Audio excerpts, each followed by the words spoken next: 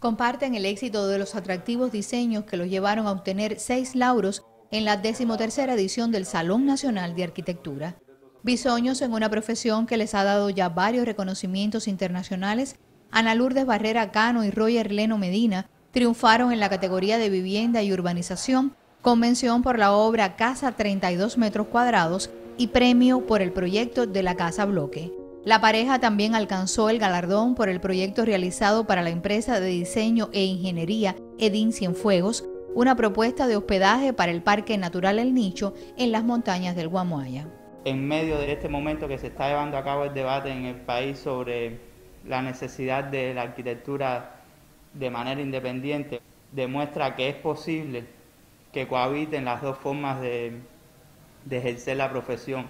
Proyectos que son realizados para personas naturales y en otros casos proyectos estatales, proyectos más abarcadores. Investigación, teoría y crítica fue el apartado del certamen bianual en el que recibiera mención el prestigioso arquitecto Aníbal Barrera Barcia con un estudio iniciado en 2013 tras la celebración en Cuba del 12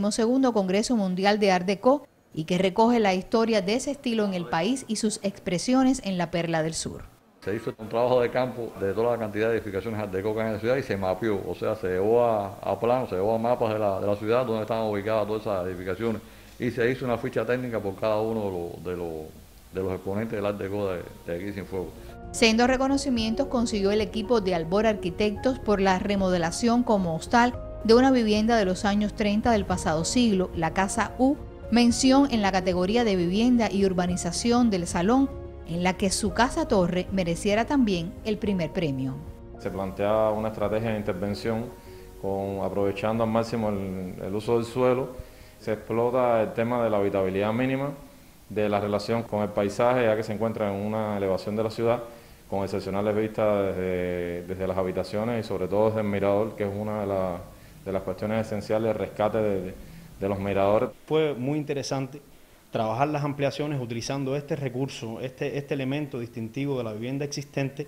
para dar respuesta no solo a las, a las necesidades desde el punto de vista estética, sino también ambientales, para lograr la ventilación, la iluminación, o sea, utilizando la luz como material principal. Modernidad y soluciones racionales que reinterpretan y añaden valores ambientales y estéticos, ubicando a los profesionales cienfuegueros entre los más premiados luego de la capital del país, en el espacio que evalúa, premia y divulga el quehacer de los arquitectos en el país.